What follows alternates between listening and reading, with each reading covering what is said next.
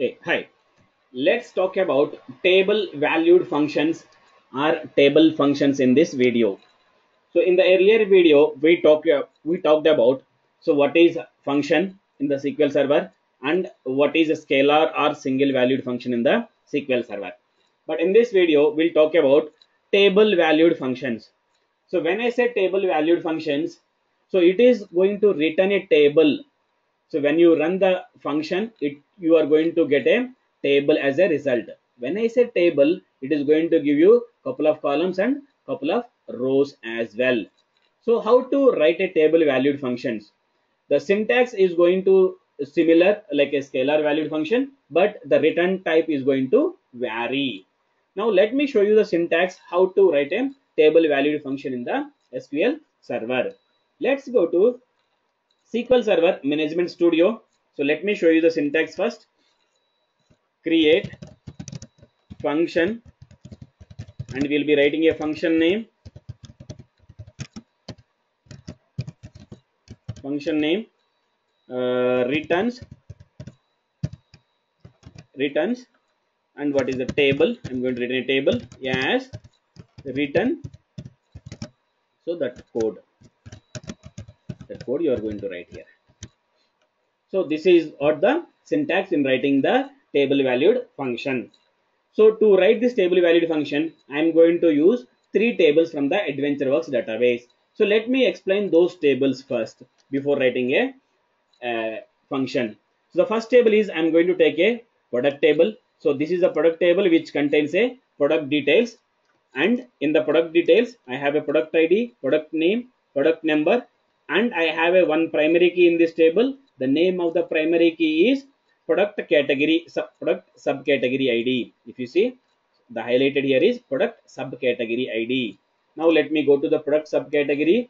If you go there here you will be having product subcategory ID and product subcategory name along with that I have some other columns but if you see this product subcategory is going to have one more foreign key the name of the foreign key is product category ID now let me go to the product category if you go there here this is a kind of master table for all these and it is having four rows with four columns those products are classified into four categories bikes components clothing and accessories.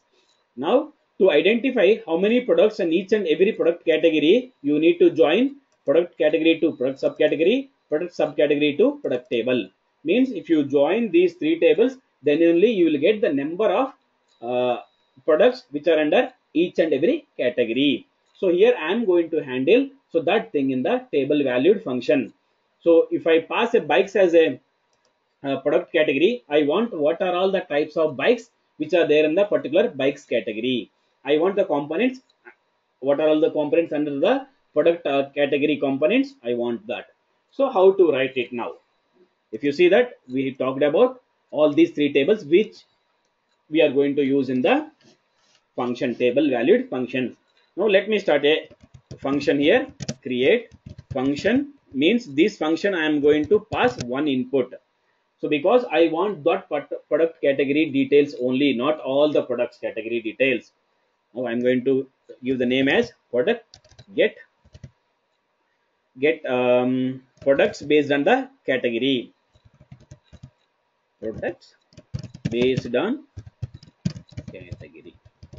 And which I'm going to pass the ID as product category ID at the rate product category id and i'm going to make it as int. Returns as we already told returns table. Table as return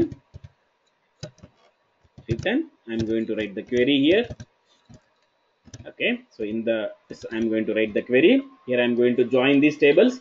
Select. First i'm going to write the star for time being. Later i'll put what are all the columns which i need it. As i'll get the IntelliSense once I write the table name. Production dot product. So I'm going to make it as a P. So here let me put a space for the column names. Production P. So join so I'm going to join with the production dot product um, subcategory. UCT yeah product subcategory.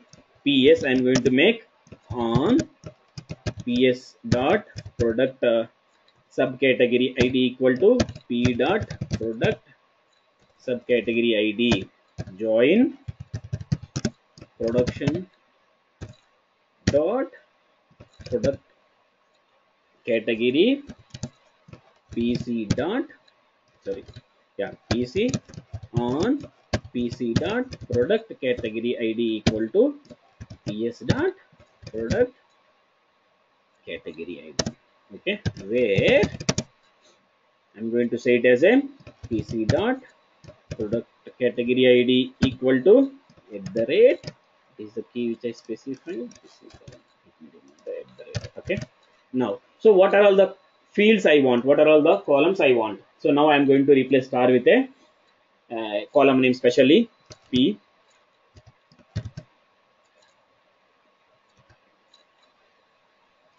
P dot. So i'm going to make it as a product number first. Which is the product number? Yeah product number comma p dot name. So i'm going to make it as alias name as product product name comma uh, pc dot ps product subcategory ps dot name. I'm going to make it as a product product subcategory name. So I, I am i'm giving a short names then the bigger names. Now pc dot name. So i'm going to make it as product category name.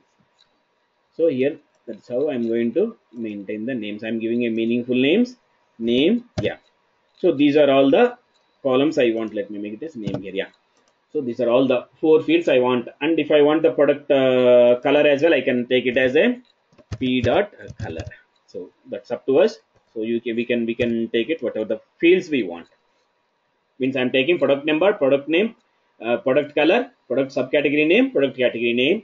So based on the product category id so i'm going to execute this. Once i am done i'm going to execute. The commands has been created successfully completed successfully. Then how to run this? Then how to run this? So select. So this is a table valued function. When i say it is a table valued function so it is going to run similar to the table. Select star from the function name so better to put as a dbo dbo dot function name of whatever the value you want to pass let's pass that. Let's run this. Select star from this execute it. Now if you see that so you got how many rows?